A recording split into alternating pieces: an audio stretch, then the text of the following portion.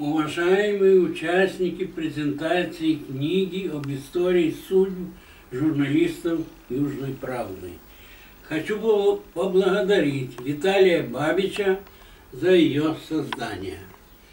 Эту историческую книгу я с интересом, конечно, прочту и передам внучке Юле, студентке.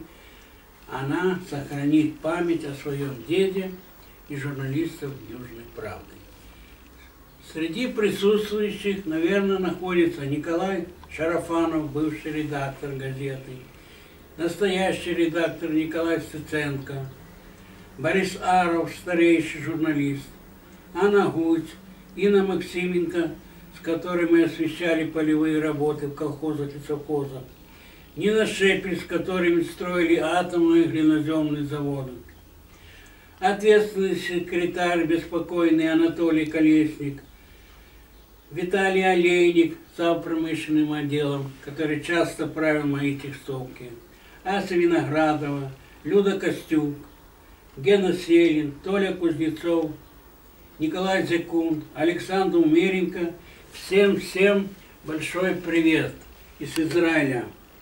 Я, бывший фотокор Южной Правды, много лет проработал в газете. Живем мы в Израиле, в двухкомнатной квартире, все стены в фотографиях из истории нашей жизни. В Израиле я с семьей нахожусь с 95 -го года. Десять лет на общественных началах я проработал в местной газете «Еженедельник новости». Недавно в торжественной обстановке отметил День Победы и 63-ю годовщину независимости Израиля. Мои все четверо внуков служили в армии обороны Израиля. Двое из них участвовали в боевых действиях «Литой свинец» в Газе. Мне 88. За общественную работу здесь мне присвоено звание почетный гражданин города Кирятгата.